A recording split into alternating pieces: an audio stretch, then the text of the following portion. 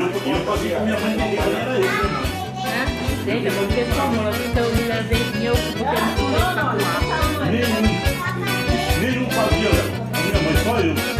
Na fogueira de São João eu quero brincar. Quero soltar